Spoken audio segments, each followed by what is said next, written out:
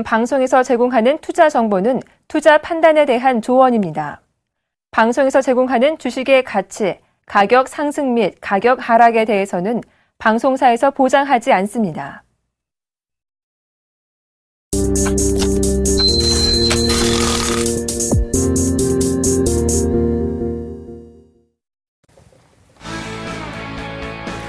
안녕하십니까. 주식잔소리 정전 멘토입니다. 어, 오늘 시장도 그렇게 썩 좋은 그런 모습들은 아닙니다. 특히나 개인 투자자분들이 체감이 좀 더 안 좋을 것 같은데요.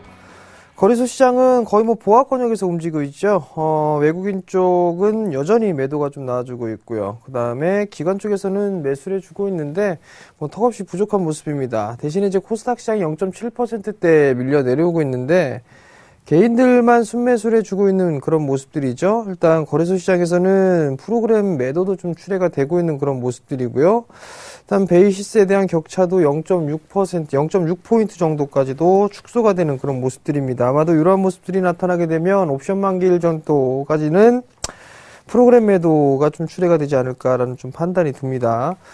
어, 결국에는 어느 정도 시장에 대해서는 이제, 음, 조금 더 밀리는 그런 모습들이 좀 보이더라도 지금 자리에서 뭐 두려워할 부분들은 없다라고 좀 보셔야 될 것 같습니다. 자세한 전략은 마지막 잔소리 시간에 좀 말씀을 드리도록 하겠습니다. 자, 주식 잔소리 참여 방법부터 말씀드리도록 하겠습니다. 주식 잔소리는 두 가지 방법이 있습니다. 전화 상담과 문자 상담이 있는데요. 전화번호는요, 02 3153-2611, 2612 두 대의 전화가 설치가 되어 있고요. 문자는요, 무료 문자입니다. 013-3366-0110번으로 문자를 보내주시면 될 것 같고요. 문자를 보내주실 때는요, 매수가 비중을 함께 보내주시면 좀 더 수월한 상담이 가능하다라는 점 말씀드리도록 하겠습니다. 자, 그럼 주식 잔소리 시작해 보도록 하겠습니다.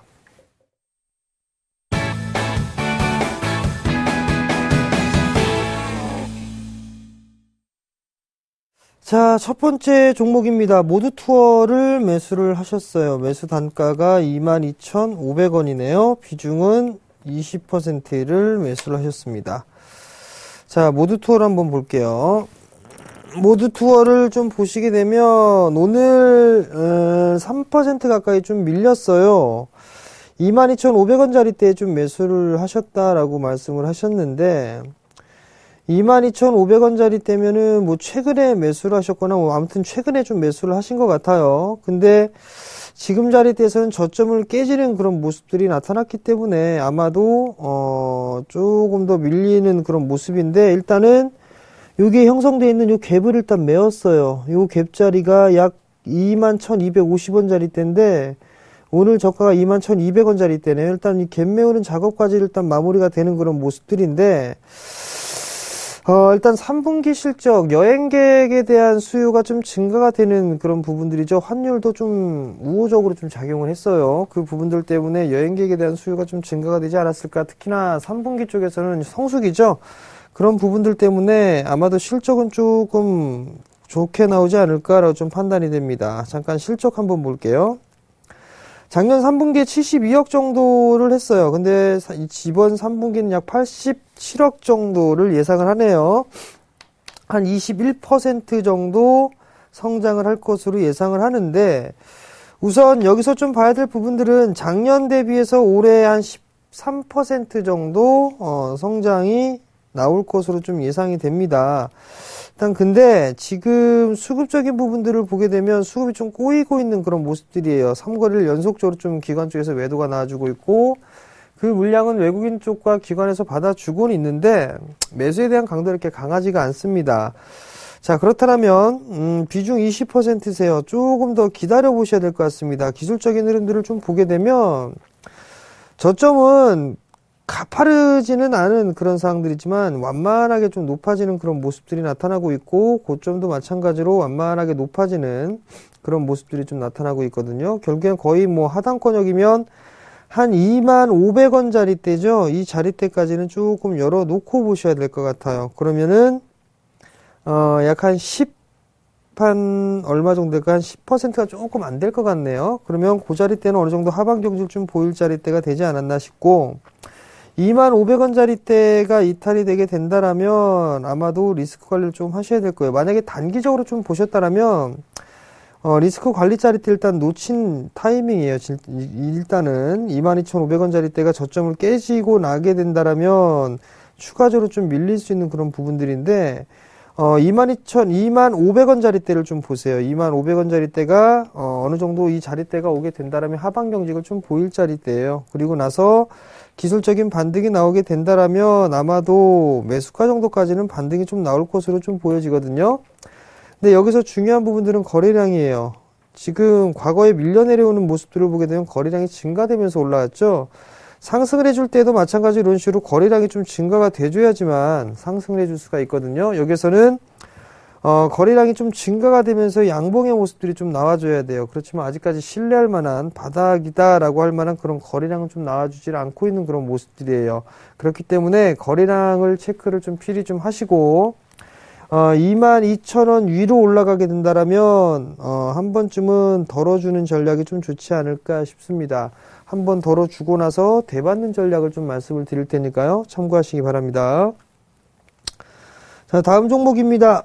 오로라를 매수하셨어요. 11,750원에 매수하셨네요. 비중이 15%의 매수를 하셨습니다. 자, 오로라 한번 봅시다. 오로라를 좀 보게 되면 음, 중견기업, 중소기업 적합업종에 과거에 좀 선정이 됐었죠. 4천원대에서부터 관심 있게 좀 보던 종목인데 어느새 11,000원대까지 올랐어요. 어, 작년 8월경에 14,000원대까지 움직이는 그런 모습인데 길게 보게 되면 일단 박스예요, 일단. 어, 주봉 차트를 딱 보시게 되면 한 차례의 가격 조정이 일단 나왔었고 횡보를 해주다가 박스권역으로 지금 보이고 있고 횡보를 해주다가 한 차례 출렁거리고 나서 지금 반등이 좀 나와주는데 어, 11,750원짜리 때 최근에 또 매수하신 게 아닌가라고 좀 생각이 드는데 이 종목은 12,000원짜리 대를 넘어가야 돼요. 지금 자리대 이 12,000원에서 한 11,500원 이 자리대가 저 매물대가 조금 형성이 돼 있네요. 그 자리대가 넘어가기 위해서는 거래량이 좀 증가가 되는 그런 모습들이 좀 나타나 줘야 돼요. 정배열 초입 구간이 그런 모습들이고 한 차례 상승을 했죠. 그리고 나서 조정을 받았어요. 그리고 나서 저가 고점을 넘어가고 거래량이 실리게 되면 이 폭만큼 올라가죠. 그러면은 목표치가 도달했기 때문에 쉬어가는 흐름들이고 한 차례 하락 N자로 밀리고 난 다음에 반등이란 말이에요. 기술적인 반등이 나오게 되면 하락의 절반 되돌림 자리대가 좀 나오죠. 하락의 절반 되돌림 자리대가 나오고 나서 지금 밀린단 말이에요. 21선을 기반으로 혹은 21선보다 좀 너프하게 좀 보자고요. 11,000원짜리 대인데 11,000원짜리대만 깨지지가 않는다라면 어, 12,000원 돌파 시도는 충분히 좀 다시 한번 나오지 않을까 싶습니다. 그러니까 조금 더 보유를 해보시는 전략 말씀을 좀 드려보도록 하겠고요. 잠깐 실적 한번 보게 되면 실적을 보시게 되면 작년 음, 상반기 같은 경우는 한 52억 정도 했네요. 근데 올해 3분기가 작년 같은 63억 정도로 했는데 올해는 어떻게 될지는 좀 모르겠습니다. 근데 오로라가 선진 시장부터 진출하기 시작했어요. 유럽 쪽이나 미국 쪽에 진출하고 그 다음에 이제 중국 시장, 신흥국 쪽에 진출을 하고 있는데 그 부분에 대한 모멘텀을 좀 충분히 받을 수 있지 않을까 싶습니다. 먼저 어려운 뚫기 힘든 선진 시장을 뚫었다라는 얘기는 중국 시장에서도 충분히 메리트가 있다라고 좀 보셔도 좋을 것 같거든요. 좀 더 보유를 해보자라고 좀 말씀을 드려보도록 하겠고 1차를 12,000원 정도 잡으시고요. 12,000원에서 12,500원 정도 잡으시고 2차는 한 14,000원 정도 잡아드리도록 할 테니까요. 참고하시기 바랍니다. 자, 다음 종목입니다. 삼성테크인 비중 10% 오늘 조금 매수할까요? 라고 물어보셨어요. 추가 매수를 좀 하신다는 말씀이시죠? 자, 한번 봅시다. 삼성테크인. 55,000원에 10%를 갖고 계세요. 매수를 하시려고 하는 이유가 뭔가요? 5만 5천 원에 매수를 하셨는데, 자, 양봉이 나왔고 32,750원의 바닥권역으로 형성이 되고 그 부분들로 인해서 움직이는 부분들은 괜찮습니다. 근데 만약에 추가 매수를 하겠다라면 그 추가 매수를 한 물량만큼은 저점 이탈, 저점 이탈이 한다면 그때 뭐 추가 매수한 물량은 매도를 하겠다라고 한다면 그건 상관이 없습니다. 근데 여기서 이제 바닥이 나오지 않았겠느냐라는 거는 일단 예측이에요. 그죠? 예측인데 신뢰할 만한 그런 부분들이 없습니다. 첫 번째로 바닥 권역에서 거래량이 좀 증가되는 그런 모습들 예를 들어서 보게 된다라면 바닥 권역에서 이중 바닥을 찍어주고 난 다음에 움직임이 나왔을 때 거래량이 이렇게 증가되면서 올라가는 그런 모습들이 나타난다라면 이 부분들 신뢰성은 조금 높습니다. 근데 지금의 구간을 보게 되면 거래량이 너무 없어요. 너무 없는 그런 상황들이기 때문에 아직까지는 아닌 것 같고요.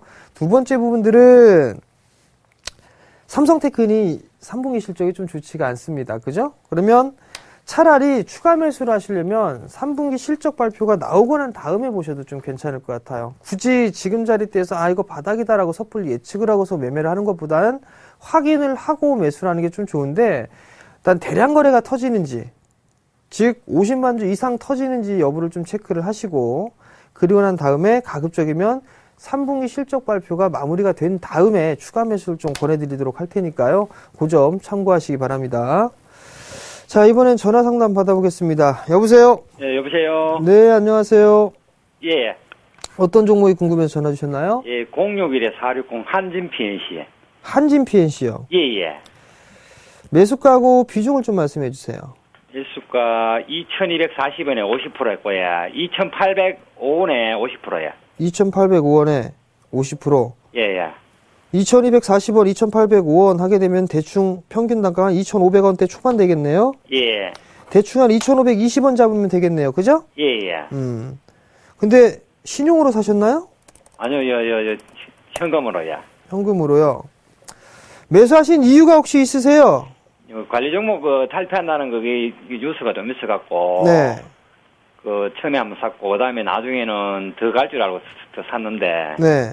지금 빠지고 있으니까 좀, 아, 그러니까 2,200원대에 매수를 하셨고 수익 중이셨다가 물타기를 불타기 하신 거네요. 그죠? 예, 예, 더갈줄 알고. 네. 그리고 나서 밀려 내려온 거죠. 예, 예. 관리 종목 탈피하게 되면 뭐 좋은 게 있을까요? 그 경영이 좀, 나- 나- 그, 오너, 야, 오너도 받겠다는 그 뉴스도 있고, 이래갖고. 네. 네. 그래 들어갔거든요.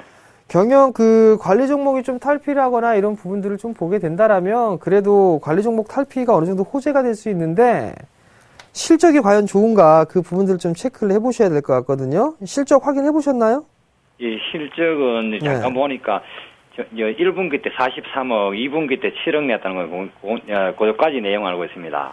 1분기 때 14억 했습니다. 이 63억인가? 아니, 13억이 14억, 14억 영업이익, 예, 예. 2분기 때 4억, 그러니까 18억이죠. 예, 그러면 일단은 돌아섰단 말이에요. 예. 턴어라운드가 좀 되고 있는 그런 상황들인데 재무구조가 이렇게 썩 좋진 않습니다. 일단 부채 비율이 좀 높아요. 재무제표를 좀 잠깐 보시게 되면 지금 어, 이 친구 같은 경우는 돈을 좀 끌어다 쓰고 있는 그런 상황들이에요. 돈을 끌어다 쓰고 있는 그런 상황들이기 때문에 아마도 지금 이게 요 모양대로 가게 되면은 유상증자 도 한번 할 수도 있습니다.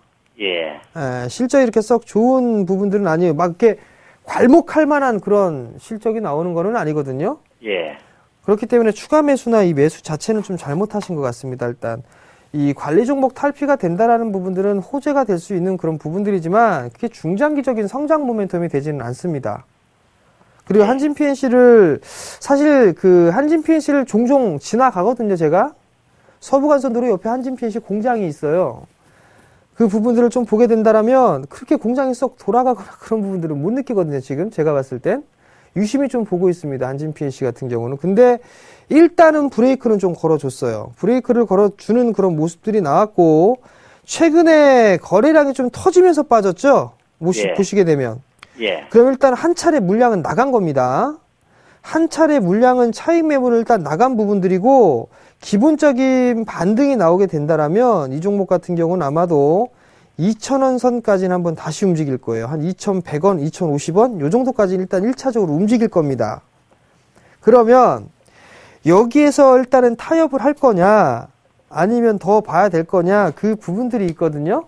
예, 지금은 다행히 61선에 대한 지지 부분들이 있어요. 근데 이게 2,500원짜리 대로 돼 있다라는 매수가가 2,500원에서 한 2,100원 정도가 되게 된다라면 손실이 한 16%, 17% 가까이 될 거란 말이에요. 예, 이거라도 일단은 만족을 하시면서 비중을 좀 줄여나가시는 전략을 취하시거나 아니면 확인 매도를 하시는 방법이 있습니다. 이 61선 깨지면은 시간이 조금 더 오래 될 거예요, 아마 이거에. 예. 61선 깨져버리게 되면 아마도 다시 1200원대, 1300원대까지 빠질 겁니다, 이 종목은. 예. 그러냐, 그러하니 일단 1차적으로 2050원에서 2100원 정도 있죠? 예. 그 자리 때 오게 된다라면 전량 정도는 못하겠지만 절반 정도라도 일단 줄여 놓으세요. 예. 줄여 놓으시고 난 다음에 그리고 나서 다시 이제 눌림목을 주거나 그렇게 된다라면 추가 매수는 하지 마세요. 추가 매수는 하지 마시고 그 위로 넘어가게 된다라면 보통 이 하락을 하고 나서 반등이 나오잖아요. 예. 그러면 피보나치 조정대로 이렇게 대충 보시게 되면 어디까지 나올 수가 있냐면 어, 약 한 2,400원 정도 때까지 맥시멈으로 보이기는 해요. 근데 거래량이 많이 터졌어요. 거래량이 많이 터져 있는 그런 상황들이기 때문에 일단은 1차적으로 한 2,050원에서 2,100원 정도 보시고 그게 넘어가야 일단 매수가 정도는 한 2,400원 정도 그 정도를 좀 보실 수가 있을 것 같거든요. 예. 그러니까 그 부분들을 좀 참고를 하시고 그 다음에 61선이 아마도 반등이 빠지더라도 반등은 나오고 빠질 거예요. 바로 다이렉트로 깨거나 그러진 않을 것 같거든요. 그러니까 그 점 참고를 하시고 반등이 나올 때 일단 리스크화를 조금 먼저 하시는 게 좀 중요할 것 같습니다. 예. 고, 고맙습니다. 예, 성공 투자하시고요. 예. 자, 다음 전화 받아보겠습니다. 여보세요? 예, 여보세요. 네, 안녕하세요. 네, 안녕하세요. 네, 어떤 종목이 궁금해 전화 주셨나요? 어, 오익 솔루션이 궁금해서요. 지금 현재가가 21,500원이고요. 네. 어, 요, 요새 자꾸, 자꾸만 떨어져가지고선 이거를 어, 일단 피할까 아니면 그냥 홀딩할까 그 예상 그 생각 중이거든요. 비중은요? 20이요. 20%요. 예. 매매에서 하셨어요, 오이솔루션? 어, 이게 뭐 광트랜시버인가? 그래서 이게 앞으로 이게 다방면으로 쓰- 이게 쓰임이 좋을 것 같, 좋다는 그런 얘기를 들었고, 네. 실적도 전분기보다 좀 괜찮고 정치적으로 뭐, 뭐, 뭐 에너지 절약 뭐 그리고 속도 뭐 그런 거를 제- 계속 강조하니까 거기 맞물려 가지고선 괜찮다고 해서 제가 샀거든요. 정책이라. 어, 네. 그런 부분들도 있겠죠. 예. 어, 일단은 뭐 그래도 많이 확인해 보신 것 같아요. 그러면 여기서 이제 한 가지 더 봐야 될 게 예. 여유 있게 보셨나요? 아니면 짧게 보셨나요? 저 이- 장기로요. 장기로 보셨어요? 예. 그럼 가지고 가세요. 아, 장기로는 가지고. 그거 다 알고 계시잖아요. 성장성이 있고 광트랜시버가 예, 예, 예. 있고 그 예, 부분들을 예, 예. 하게 된다라면 성장성이 있고 실적도 좋게 나오고 그죠? 예, 예. 3분기 실적 좋을 겁니다. 아, 예. 예, 4분기 실적도 괜찮을 걸로 예상을 하고 있고 예. 어, 좀 확대 해석을 해보게 되면 꼭 그렇다는 건 아니겠지만 예. 확대를 해서 보게 되면 우리나라가 인터넷 속도가 그래도 제일 빠르죠. 예. 그죠? 미국은 느립니다. 예, 예. 예, 미국도 아마 이 통신 케이블에 대한 이 부분들, 통신 쪽, 장비 쪽이나 이런 부분 다 교체를 한번 해야 될 거예요, 아마도. 예, 이게 예. 국책 사업으로 좀 진행이 될 걸로 전 예상을 하고 있거든요. 예. 뿐만 아니라 중국 쪽에서도 뭐 LTE 보급률이 좀 늘어나고 있는 그런 상황들인데 중국 쪽에서도 좀 그런 모습들이 나타나고 있고요. 예. 그럼 결국엔 오이솔루션이 이 통신 장비 쪽에 10대 기업의 7개, 7개 기업을 고객사로 좀 확보를 하고 있어요. 아, 예, 예. 예, 그건 알고 계시죠? 예, 예. 그럼 당연히 실적은 좋아지겠죠. 그죠? 예. 예, 예. 그리고 뭐 사물 인터넷이나 이런 얘기들 나오게 된다라면 더더욱 더 예. 증가가 될 수 있는 그런 부분들이고요. 예. 다만 이제 어, 시청자님께서 불안해하시는 그런 부분들이 일단은 약간의 수익 권역으로 있다가 손실권역으로 좀 접어들었으니까 손실권역으로 좀 접어들까 그게 예. 일단은 고민이 좀 되시는 부분들이 하나가 있을 거예요. 예, 예. 그죠? 다른 종목 예. 빠진 거에 비하면 양반이죠 일단. 그죠? 또 오늘 예. 예상보다 오늘 팍 떨어져가지고서 에이, 마음이 3% 좀- 빠진 것 같다가 뭐 이렇게 그러세요. 3% 정도면 뭐 그냥 눌림폭이다라고 좀 생각하시면 되죠. 아, 이거 예, 만약에 예. 빠지게 되면 2만 1,000원 깨고 올라갈 수도 있어요. 아, 예, 알겠습니다. 2만 1,000원 깨고 올라갈 수도 있는데 예. 중장기적으로 좀 보시면 그래도 기업에 대해서 나름대로 분석을 잘 하셨어요. 잘 하셨는데 저는 개인적으로 저기 올해 상장했을 때 26,400원 요 자리 찍었었잖아요. 고점이. 그죠? 예, 예. 저는 못 가도 이 정도는 무조건 간다라고 보고 있어요.